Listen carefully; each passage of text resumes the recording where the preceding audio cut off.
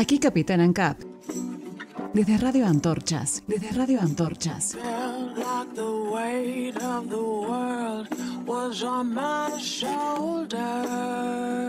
Iniciamos este viaje con ideas y buena música.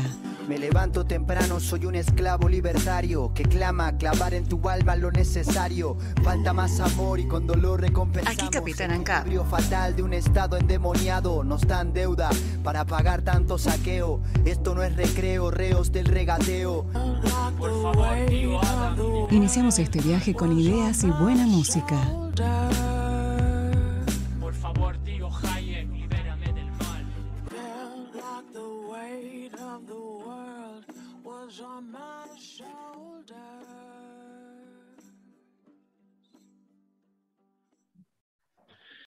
Hola a todos, ¿cómo andan? Bienvenidos a un episodio más de Radio Antorchas, una guía de ideas con buena música. Hoy es la primera vez que lo estoy haciendo en cámara, que estoy saliendo al aire mientras estoy diciendo esto. Es que vamos a hacer una charla larga, eh, tranquila eh, y muy específica sobre el tema que vamos a hablar hoy con Alberto Suárez, que es tan buen amigo como tan buen economista. ¿Mm? Eh, bueno, nos conocemos, somos de la misma ciudad, somos del mismo barrio, pese a que todavía como no tengo mi equipamiento adecuado, no tengo ni una buena cámara ni nada, para estar pegaditos acá frente a la notebook, dijimos, bueno, sigamos haciendo un Zoom, pero él está a pocas cuadras de mi casa. Eh, nos encontramos todo el año pasado haciendo campaña por nuestra ciudad, ¿m? para nuestro candidato liberal, y sabemos lo que es hablar con el vecino, hablar con, hablar con la gente del barrio, y aparte, bueno, tanto Alberto como yo somos de barrio, ¿sí? Este, entonces, acá tenemos ahora a alguien como Alberto Suárez, que es un economista, capo, capo, capo, pero que también sabe lo que es un barrio, sabe lo que es una pyme, trabaja en una pyme. Así que bueno, te tengo que saludar y empezar a arrancar la conversación. Alberto, ¿cómo estás? Y gracias una vez más por querer estar acá en, en Radio Antorchas. No, gracias a vos, Fabián, gracias por la presentación y sabes que para mí es un gusto estar en Radio Antorchas y colaborar eh, con vos y con toda la gente que comparte nuestra idea. Bueno, el honor siempre es mío. Cada vez que hago un episodio es una cosa que me, que me, que me pasa por dentro y bueno, que me da mucho placer. Hoy vamos a hablar, el título de este programa es Argentina Game Over, Alberto. Estamos a punto de, como esos jueguitos que decían Game Over, hasta que no insertemos la ficha y no arranquemos de nuevo, estamos eh, en una situación, ya lo había dicho con eh, el diputado López Murphy, que estuvo con nosotros también en, una, en, una, en un episodio anterior, estamos en el borde del precipicio, estamos ya en la caída, Explícanos, Alberto, cómo es la situación según tu punto de vista. Mira, según mi punto de vista, estamos en una crisis que puede terminar de muy mala manera y estamos para mí en una crisis terminal. Yo creo, porque yo esto lo hemos hablado muchas veces, Fabián, creo que a partir del 2023 eh, la próxima administración va a tener que hacer algo totalmente distinto. Esta gente no está dispuesta a hacer los cambios que hay que hacer. La Argentina hace muchísimos años que viene en decadencia, hace 70 años que se viene cayendo, pero es la primera vez que yo veo que la sociedad se da cuenta que está en decadencia. Porque, por ejemplo, en el año 2015, cuando asume la gente de Juntos por el Cambio, la presidencia de la, administración del gobierno, también había una crisis muy profunda pero me parece que la gente no sentía esa crisis, no se daba cuenta o no llegaba a percibir la gravedad de la crisis.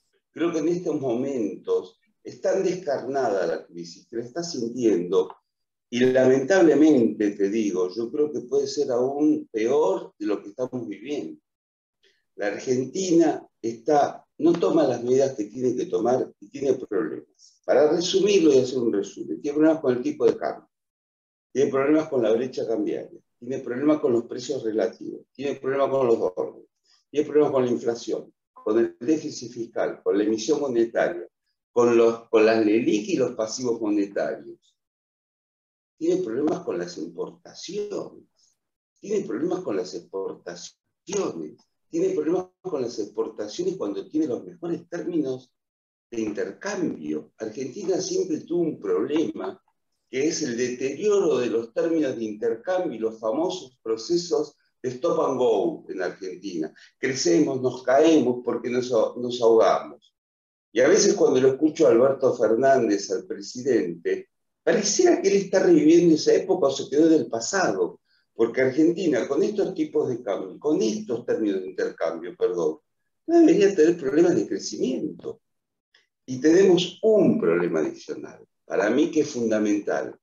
Mientras el presidente piensa que estamos en un, proceso de crecimiento robusto, yo pienso que estamos en una decadencia, que estamos en una crisis fenomenal y que confunde hinchazón con gordura. Mira, qué frase. Eh, yo no sé si es guitarra que toca, relato que hace o quiere zafar de la situación. No creo que, esté pensando que va a llegar así, engañando a la gente hasta octubre de 2023. Falta más de un año para que haya elecciones y para que se vayan. Falta muchísimo.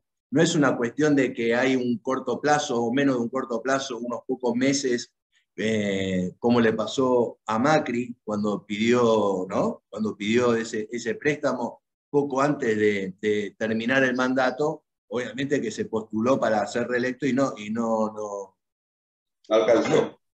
No alcanzó pero ahí fue un, intento de alivio, o por lo menos de engañar una vez más a la gente, con eh, unos meses de, gracia de Changui que le estaba pidiendo a la, gente que le den un poco más de, cuerda, ¿no?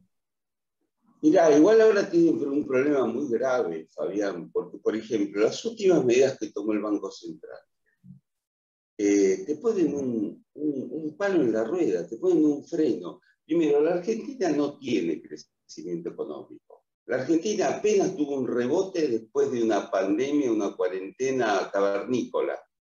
Mm. Eh, tuviste un rebote. Lo que tenés es un arrastre estadístico porque te estás comparando con años muy malos. Claro, Entonces, sí, sí, O sea, a ver, estás comparando con un periodo donde no tenías eh, actividad directamente. El tema es que, por ejemplo, de hecho, vos estás en un feriado cambiario. Suponete que yo te digo, vos Fabián sos un importador, tenés que importar cosas. Y yo te digo, mira, vení dentro de un año, porque yo plata no, no tengo. Vos no podés comprar dólares. Vos tenés que producir. Vos tenés que terminar tu proceso productivo. Si yo te contesto eso, si tenés suerte y vos tenés plata, vos tenés que ir al contado con liquidación y comprarte los dólares en el, contado con liquidación, comprándote bonos y liquidándolos en el exterior, en dólares. Ahora, ¿a cuánto lo pagas en el contado con liquidación? A 250 pesos. A 250 pesos.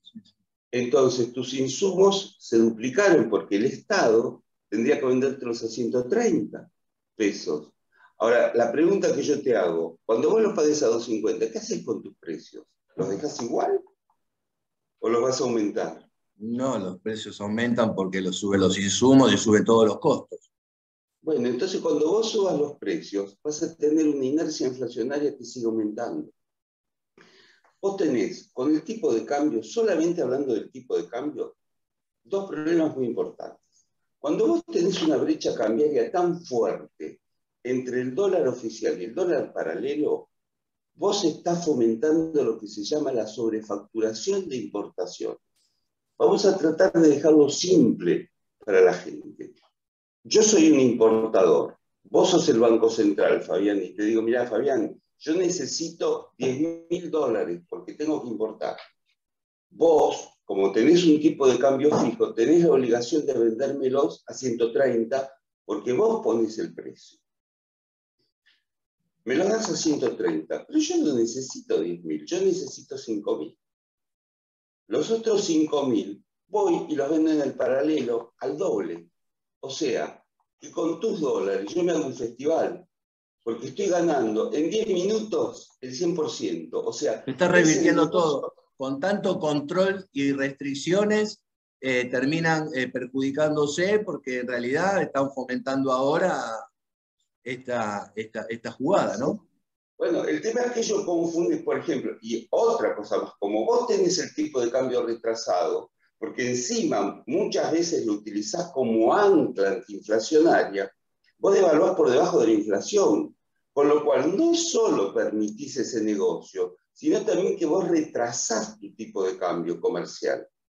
Al retrasar el tipo de cambio comercial, yo, importador, adelanto mis compras porque sé que en algún momento este festival se termina y el festival de importaciones que eso llaman es conducta económica de lo más racional. Yo voy a querer comprar anticipadamente antes que vos me aumentes el precio y voy a querer sacarte dólares porque vos, con tu política de intervencionismo desde el Estado, me permitís hacer un negocio en 10 minutos del 100%, que es inimaginable. O sea, lo que yo siempre le critico a este gobierno es que se llenan la boca diciendo voy a terminar con la especulación financiera y la fomentan. Y la fomentan, claro, claro. Con esto la fomentan. Al ser tan grande la brecha, este, la fomentan, pero no se animan a devaluar porque no quieren quedar pegados. No quieren quedar en la historia como un gobierno más que devalúo. Sin embargo, Fabián eh, tiene muy pocas chances de no devaluar. De no devaluar. el primer semestre del año prácticamente no juntaron dólares. Para juntar dólares prácticamente lo juntaron en los últimos días y poder cumplir con la pauta del Fondo Monetario. Pero fue prohibiendo las importaciones. Con lo cual, tampoco te quisieron decir que tenías un feriado cambiario, pero vos no podías comprar dólares. Eso es feriado cambiario. Mm. Llámalo como quieras. Pero si yo voy a la ventanilla del central y no puedo comprar, es feriado cambiario. A mí hay una cosa que me gustaría dejar en claro también para que la gente que nos escucha le quede muy claro cómo funciona el tipo de cambio, por lo menos en los dos extremos. Vos tenés un montón de variantes intermedias, pero vos tenés dos puntas con el tipo de cambio. Vos tenés lo que se llama el tipo de cambio fijo o el tipo de cambio libre. ¿Cuál es la diferencia entre uno y otro? El tipo de cambio fijo es cuando la autoridad monetaria, el Banco Central, es el que fija el precio del dólar o de la divisa por ejemplo, tiene una política de tipo de cambio fijo con crawling peg porque de alguna manera lo va devaluando un poquito todos los días. Pero supongamos que es totalmente fijo, fuera 130 pesos. Esto es muy parecido. Vos tenés que comprar y venderme porque yo tengo que pasar todas las operaciones por el Banco Central a 130 pesos. Me tenés que comprar y vender a 130 pesos. Cuando vos controlás el precio de un bien, vos no podés controlar la cantidad. Si vos controlás el precio, lo que es variable es la cantidad. Entonces, a vos tenés subas o caídas de reservas. Como el dólar está tan barato y todos compramos y encima me permitís hacer especulación financiera porque me lo vendés barato y yo lo puedo vender por un canal como es el contado con liquidación que es legal, vos te quedás sin dólares y ese es el problema que tienen ahora. No es que se quedan sin dólares porque el crecimiento que tenemos es espectacular. Y yo creo que acá es donde el, presidente, tal vez con buenas intenciones, la verdad carece de conocimientos económicos elementales, yo ya te diría. Porque le faltan dólares, porque tiene un dólar barato y porque está alentando la especulación financiera él. En el otro extremo, vos tenés el tipo de cambio libre, que lo más parecido es el contado con liquidación ahí el lo que varía es el precio. Si yo tengo demanda por encima de la oferta, el precio sube. Si yo tengo un excedente de oferta, el precio baja. Pero lo que es fijo es la cantidad. La cantidad no va a variar. Va a variar el precio. Entonces, en el tipo de cambio fijo, a vos el precio es fijo y te varía la cantidad. En el tipo de cambio libre, el precio es variable pero la cantidad es fija. No perderías reservas.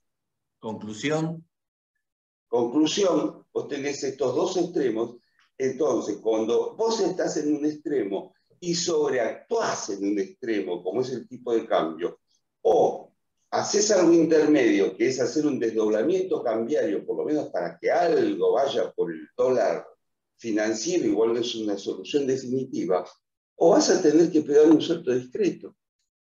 ¿Qué significa un, un salto discreto? Y vas a tener que hacer algo parecido a lo que hizo Fábrica. ¿Te acordás el que, era, que fue presidente del Banco Central en la época de Cristina Kirchner? Tuvo que hacer una evaluación del 40% porque estaba en una situación ya insostenible. Y estos están en una situación insostenible. Sí, sí, hay que achicar esa brecha cambiaria que hay, que es una... La brecha cambiaria tan grande es insostenible en el tiempo, Fabián. Es insostenible. Y eso lo sabe ¿En qué tiempo hablamos? Porque, ¿cuál es el tiempo? Insostenible en tiempo. ¿En qué tiempo? Porque ¿cuánto, cuánto tiempo hace que ya lleva esta brecha? ¿Un año, dos años? Bueno, está bien, pero fíjate algo, cada vez tenés un cepo más duro. El tiempo depende del cepo, Fabián. Si yo te voy endureciendo el cepo, vos cada vez tenés más restricciones. Entonces vos no podés comprar, vos no podés comprar dólares. Vos podés comprar 200 dólares y cada vez te ponen más restricciones. Hoy salió una medida, ya no podés financiar compras al exterior en cuotas. Si vos traes del exterior, te pongo otra restricción, ya tampoco con tu tarjeta podés pagar en cuotas. Te acaban de poner otra medida hace poco tiempo, tampoco podés pagar los viajes en cuotas al exterior. Fíjate que para dilatar, por eso es muy difícil precisar los tiempos, para dilatarlo, yo cada vez hago un cepo más duro. Ahora, el cepo que pusieron ahora, a vos no te permite producir. Entonces, te diría que vas a enfrentar un segundo semestre durísimo en este aspecto, a vos se te va a caer la cadena de producción y no extrañaría, no me extrañaría que vos veas paradas de planta, caídas y recesión, eh, un, un estancamiento económico profundo y de golpe, y encima más inflación. Te vas al peor de los escenarios. Más recesión con más inflación, porque una parte de las importaciones se te va por, las, por el contado con liquidación, que es el tipo de cambio libre, y además tenés todos los precios relativos atrasados, tenés que aumentar tarifas, transporte, servicios, tenés 40% de la población que cobra planes, tenés que emitir, emitir dinero. Está muy complicado, Fabián.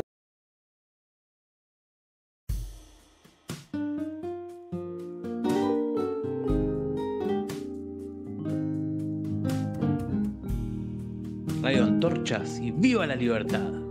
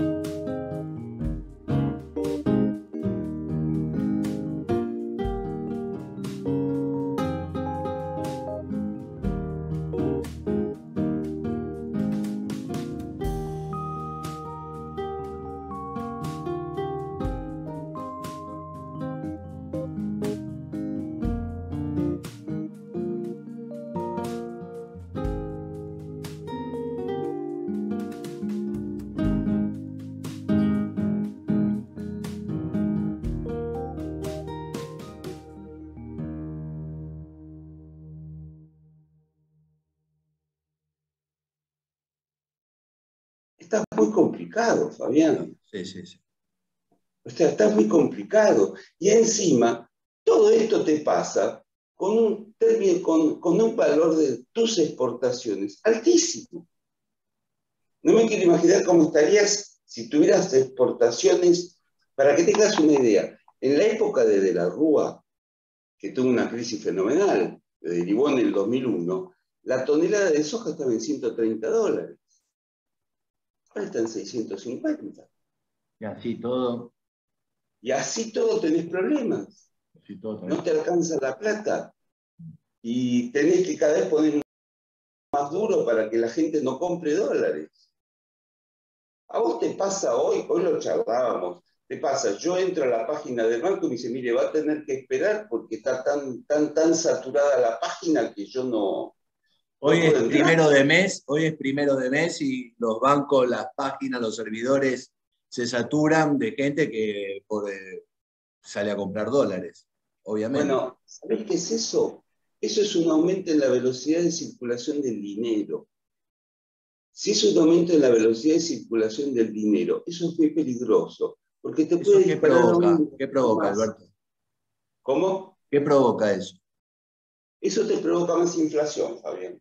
Yo, cuando vos mirás la inflación de Argentina, por ejemplo, en plena pandemia, que se llenaban todos la boca diciendo, mira, estamos emitiendo y no generamos inflación. Primero, la emisión monetaria tiene un lag, un lag en el tiempo para generar inflación. Pero segundo, como vos estabas encerrado, Fabián, yo estaba encerrado y estábamos todos encerrados, vos demandabas más dinero por un motivo de precaución.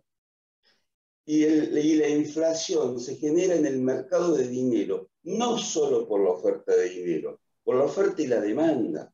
Si la demanda aumenta, puede haber oferta y necesariamente tiene que haber más oferta. Nadie está diciendo del liberalismo que vos no incrementes la cantidad de dinero si aumenta la demanda, porque eso es recesivo y aumenta la tasa de interés. Lo que te estamos diciendo es tenés que adecuar la oferta con la demanda, o, o lo que decía Milton Friedman, Milton Friedman, que él obviamente pensaba en una velocidad de circulación del dinero estable y una demanda de dinero estable. Una política monetaria sana es hacerla crecer 2, 3% anual, no más. En Argentina eso ya es una sutileza que no podemos pensar. Pero digamos, si no adecuas oferta y demanda, es imposible tener una tasa de inflación equilibrada. Cuando vos mirás el año 2020, la inflación fue del 36%. Cuando miras el año 2021 fue del 55%. Hoy la inflación, yo te diría que ya no hay ningún economista, o por lo menos que, no, no oficialista, que no te diga que la inflación tiene un piso del 80%. Si vos ves, la inflación es cada vez más alta. Entonces ya entraste también en lo que se llama una inercia inflacional. Ya la gente en Argentina tiene mucho aprendizaje de la inflación. Hay dos maneras de adaptarse a la inflación, lo que se conoce como expectativas adaptativas o lo que se conoce como expectativas racionales. Robert Lucas, después de Milton Friedman, fue el que trabaja el tema de las expectativas racionales. En Argentina es tanto el aprendizaje que hay sobre inflación que cada vez sabemos más, aprendemos más y sabemos cubrirnos mejor. Eso es expectativas racionales. Entonces, los aumentos de precios son instantáneos y cada vez tenés menos lugar a la política económica. Si encima tenés un gobierno que pierde totalmente credibilidad, devalúa su palabra, perdés algo esencial, que es que la gente no te crea, se cae la demanda de dinero. Y si a vos se te cae la demanda de dinero, vos te quedaste sin instrumentos de política económica. Vos podés tener alta inflación o una disparada de la hiperinflación, de hiperinflación, sin emitir. Sin emitir. Yo creo que lo que no analizan bien, porque ellos no lo creen, es que la emisión monetaria genera inflación. Ellos confunden causa con consecuencia. Ellos creen que no tener dólares es el origen de la inflación. O creen que la inflación es estructuralista en el sentido de decir que el, el, comerciante, que el comerciante, que el empresario, lo que, hace aumenta, mira sus costos y le pone un markup. Esto ya fue resuelto en 1871. Lo que marca los precios es la demanda. El dólar acá aumenta no por la demanda de la gente. Tenés exceso de demanda de dólares. En Uruguay, no sé si vos leíste las noticias, tiene un problema de revaluación de la moneda. Aumenta más el peso uruguayo que el dólar. Acá pasa exactamente lo contrario, somos todos perversos, no entendemos nada, somos mala gente. No, no, no. Tenemos un sistema económico que nos induce a eso.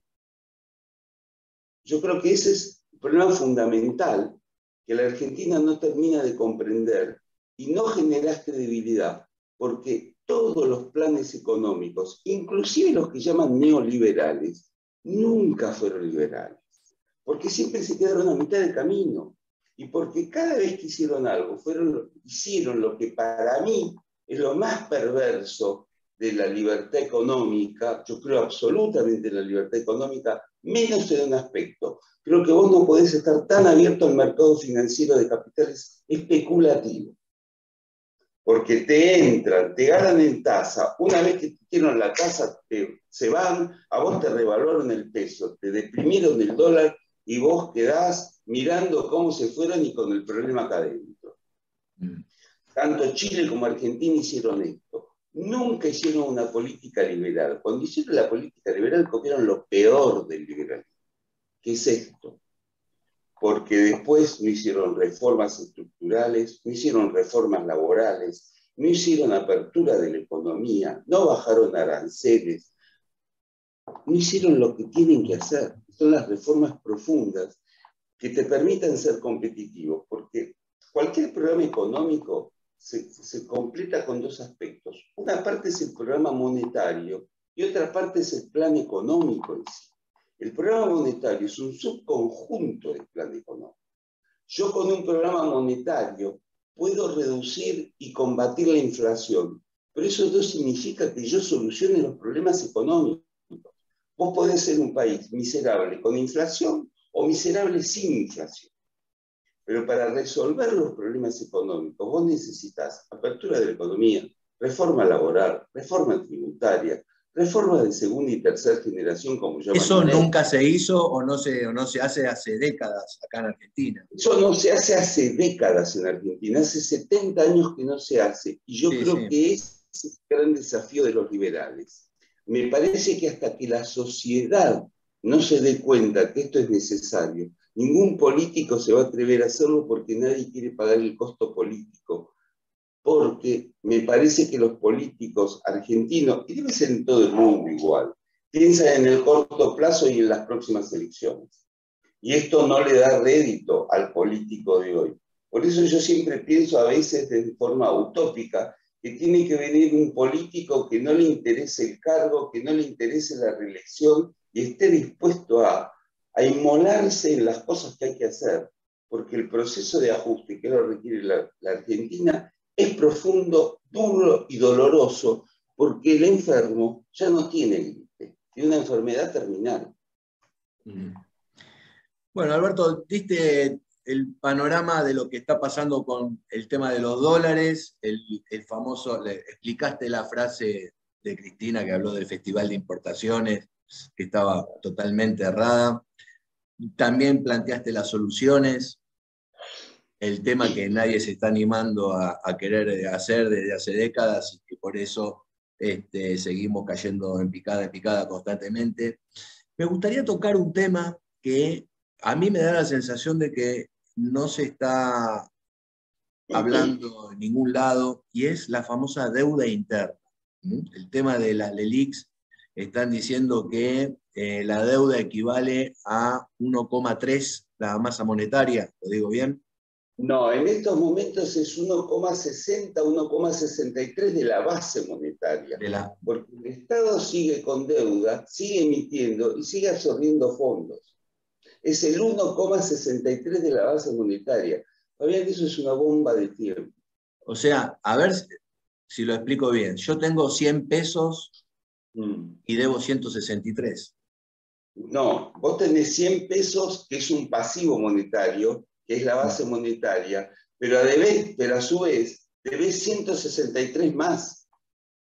Vos tenés la base monetaria más 163 pesos. Vos tenés casi una emisión potencial de dinero de tres bases monetarias juntas. Claro, yo tengo 100 pesos y necesito además 163 pesos más para, pagar, para, pagar, para pagar mi deuda, para pagarte lo que te debo, por ejemplo. Exacto. Eso es lo que originó el Estado con esta fiesta de las LELIC, porque al fin y al cabo... Con la fiesta del déficit fiscal. El déficit fiscal, en Argentina, vos tenés tres maneras de financiar el déficit fiscal, con deuda, con bonos o con emisión monetaria. Argentina, deuda, ya no puede tomar más porque es un defolteador serial. Nadie le va porque nadie le presta, porque nadie, le presta. Nadie le presta. Nadie le estaría prestando. Nadie le prestaría. Nadie le presta. Entonces Argentina no puede salir a tomar deuda, porque nadie le presta. Eh, bonos, los bonos que refinanció Guzmán eh, después, del después del default que prácticamente tuvimos y refinanció con, con el sector privado, hoy valen 20, 20 dólares sobre un valor fiduciario de 100. Tienen tasas del 44%, hay algunos que dan hasta el 80%.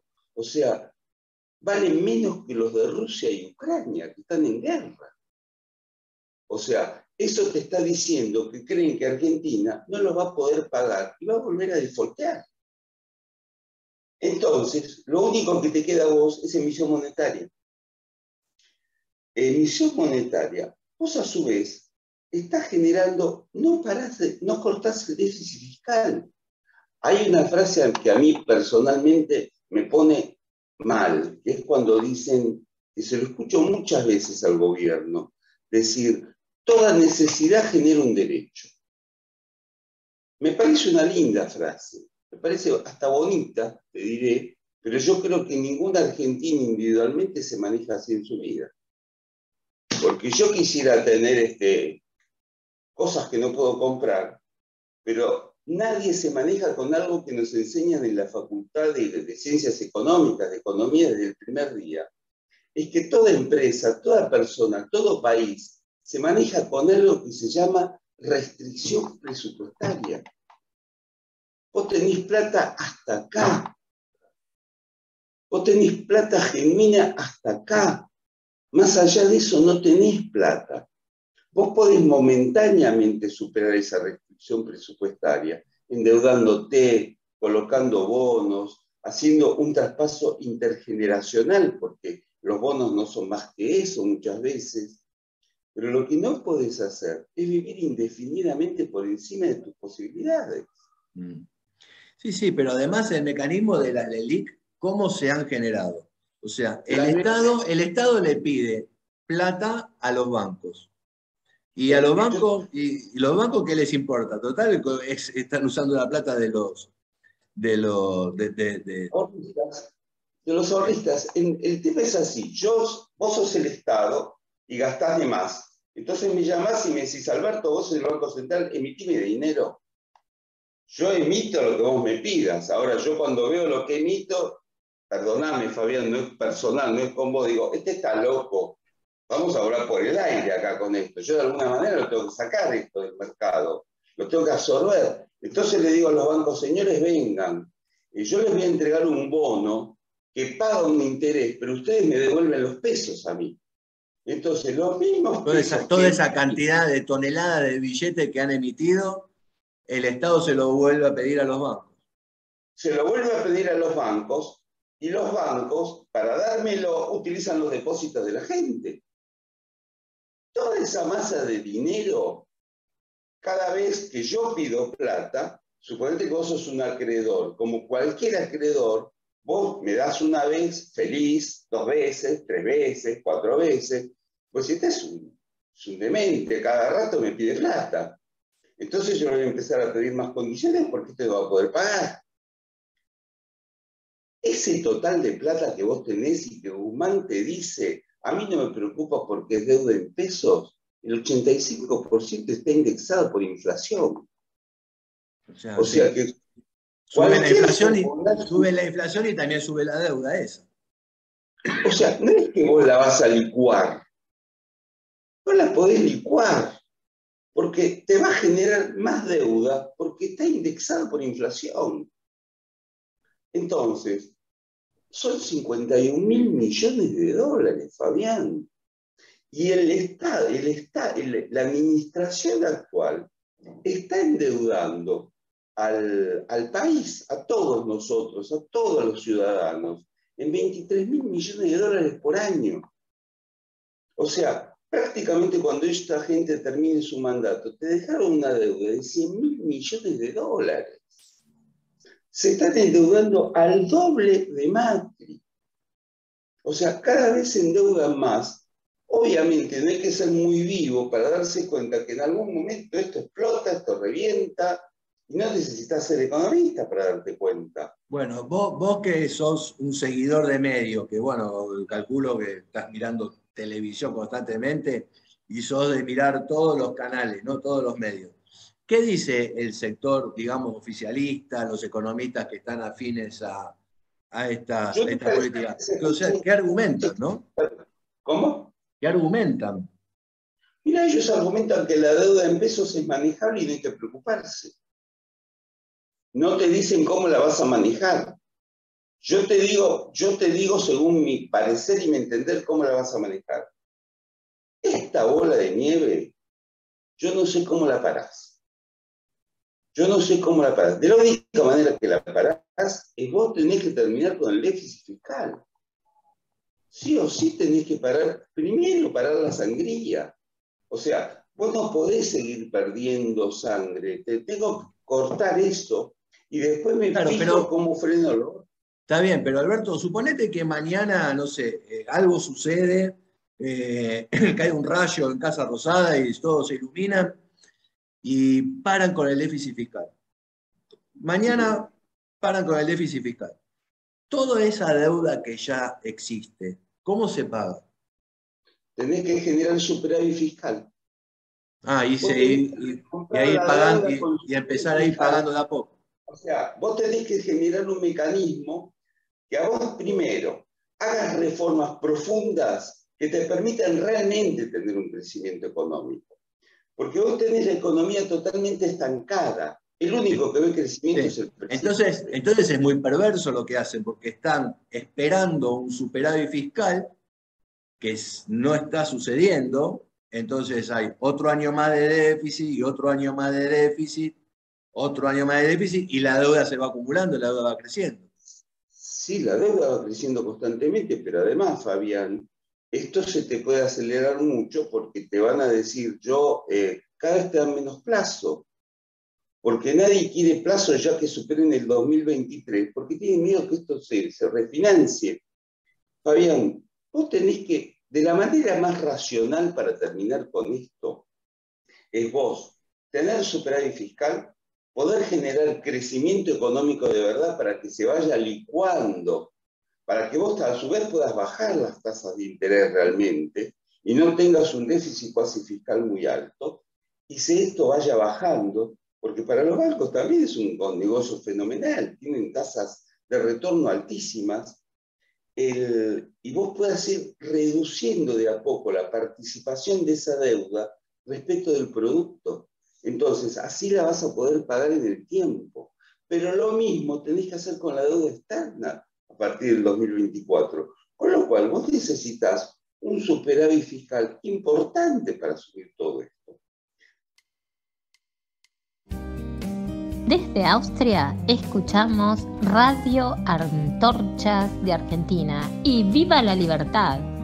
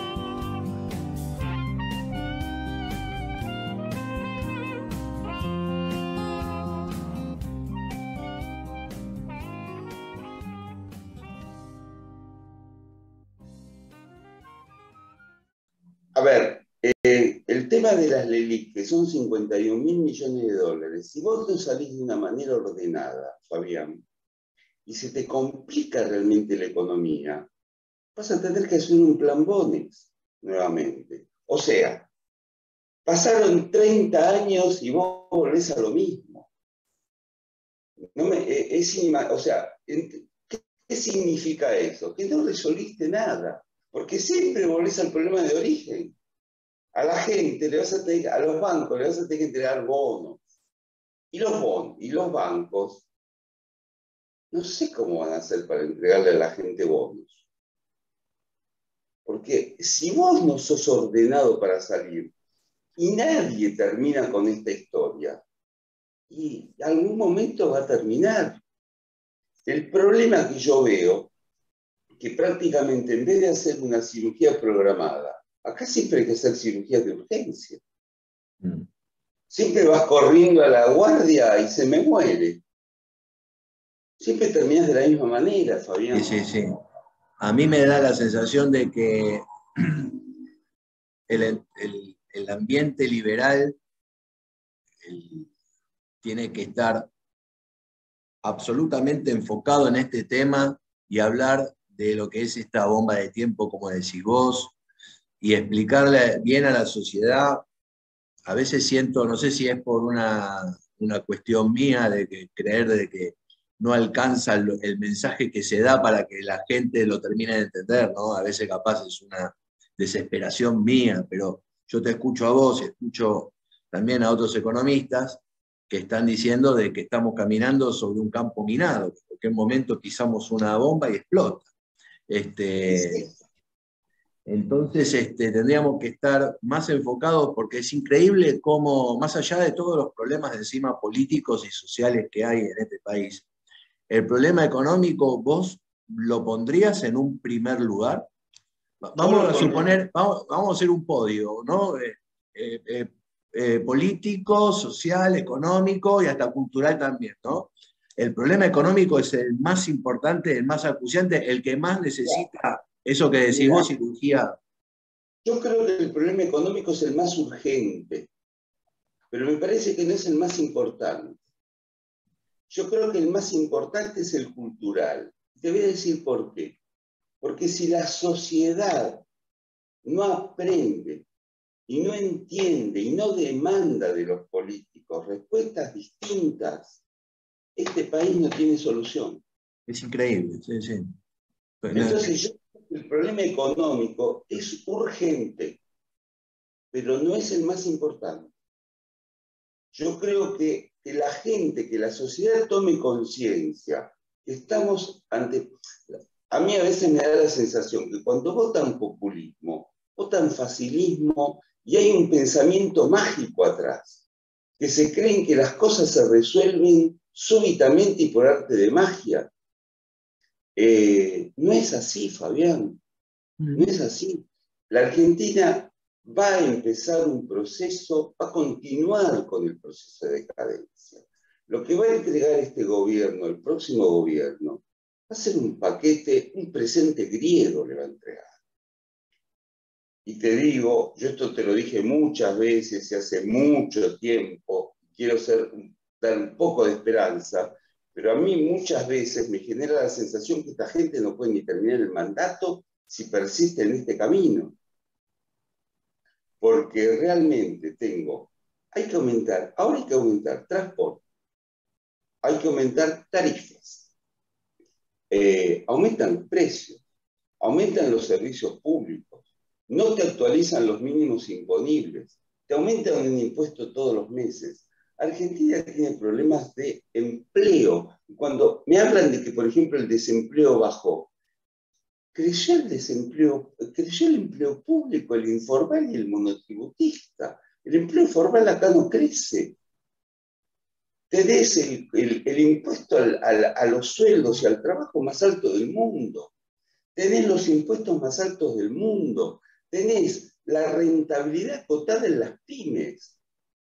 Los informes del Banco Mundial te dicen que cada 100 pesos que ganás, vos tenés que pagar 106 Hoy toda pyme que veas abierta es porque va de algún impuesto. O sea, a ver, está todo mal, Fabián. Entonces me parece que más allá de que el problema económico es cultural, porque la sociedad tiene que darse cuenta. Vos escuchás, yo escucho algunas personas que me dicen, y yo soy pobre porque el empresario es rico. No, a ver, yo no pretendo ganar como Bill Gates, porque Bill Gates me permitiría a mí, yo creo en el emprendedor schumpeteriano, en el innovador, el que genera y se derrama de alguna manera el conocimiento y nos permite desarrollarnos. Pero acá no existe esa mentalidad. Esa mentalidad fue colonizada desde la educación pública y privada también, porque mm. la gente tiene al Estado como un dogma casi religioso. Yo en eso comparto mucho las ideas de, de mi ley, aunque tal vez no comparta todas sus opiniones. Creo que en economía es el candidato que más sabe.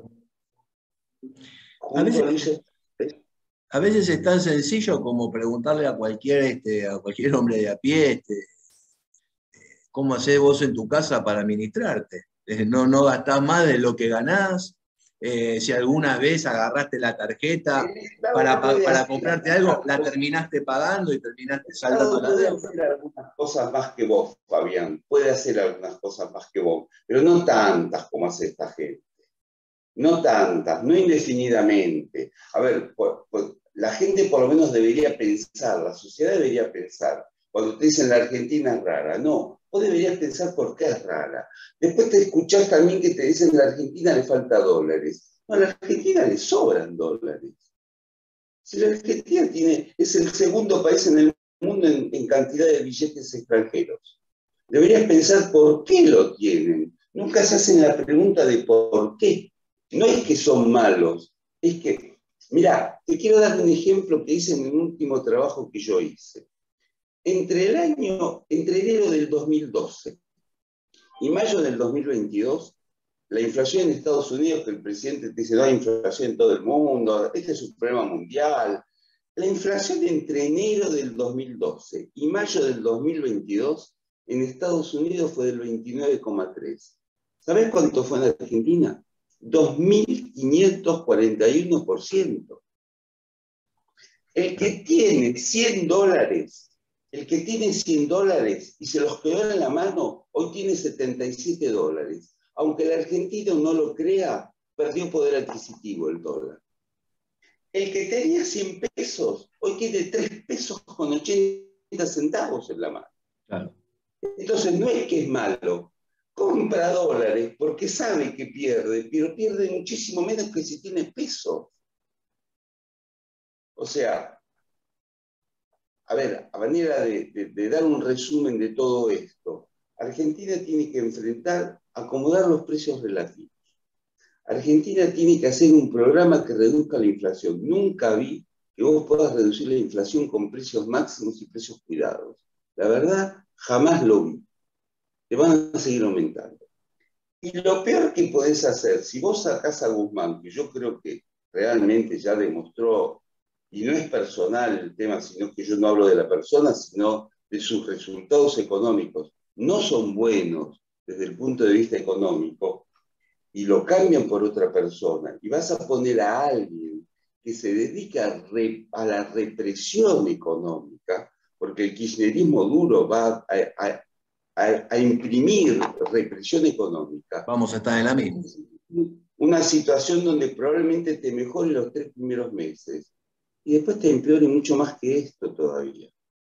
Con lo cual, si no cambiamos, si no tomamos conciencia y no hacemos las reformas estructurales que hay que hacer, la Argentina es un país inviable, Fabián.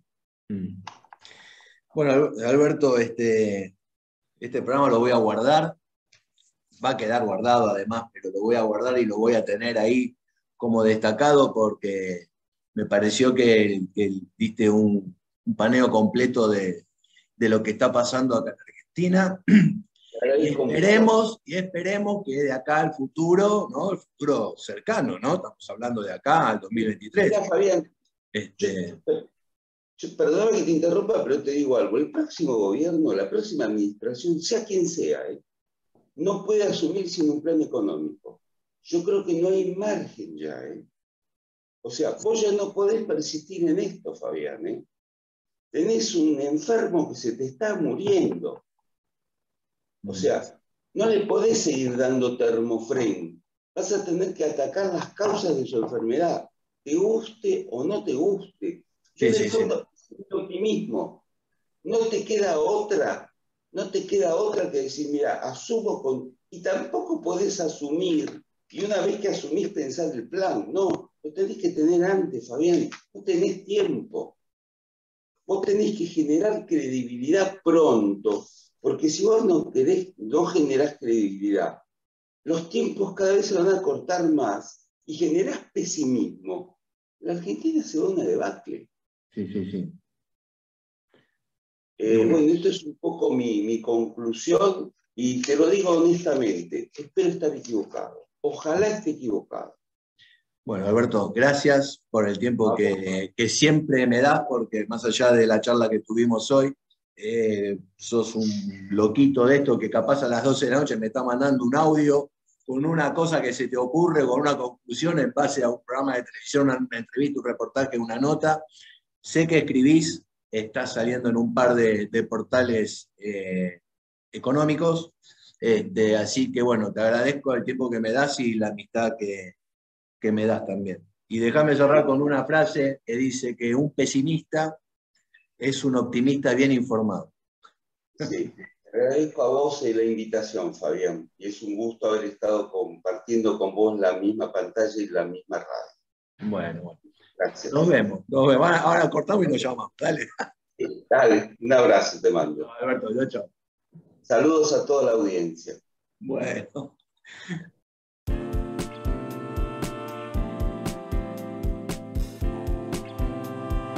Österreich hören wir Radio Antorcha und Lebe die Freiheit.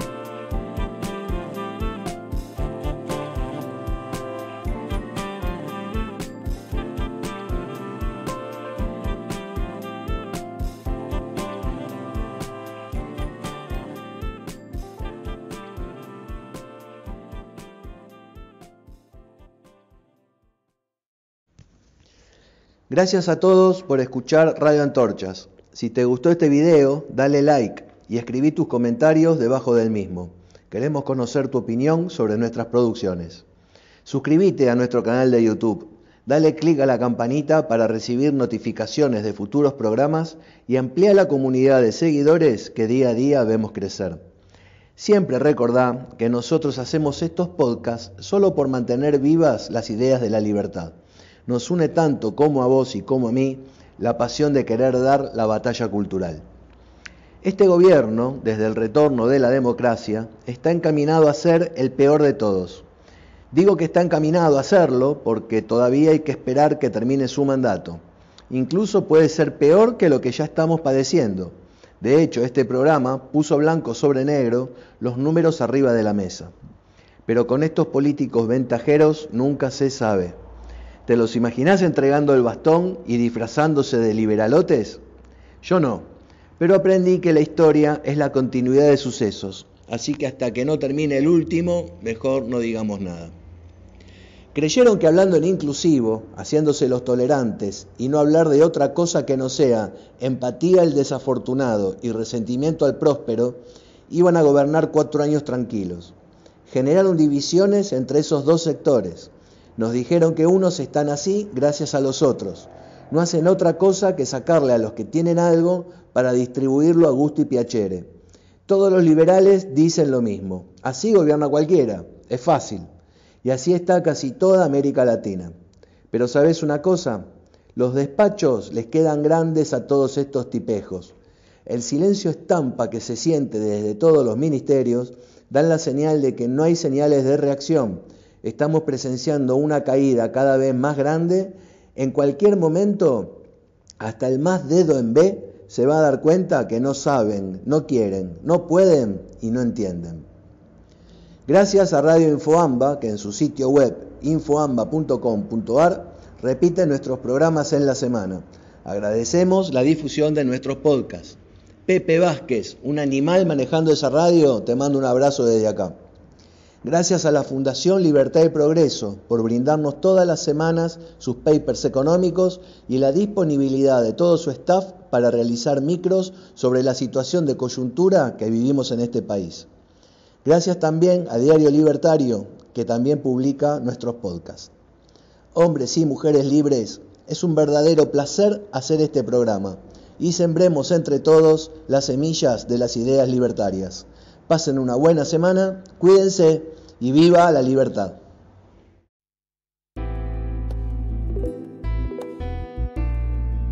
Vive la France Vive la France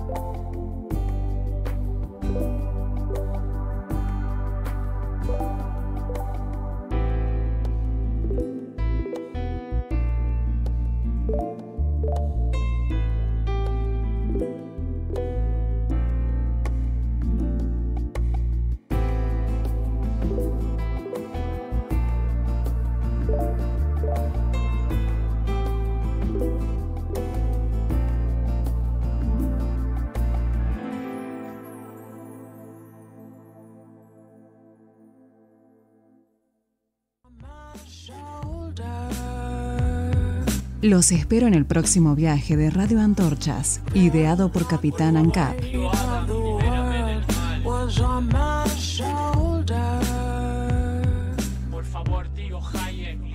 Ideado por Capitán ANCAP.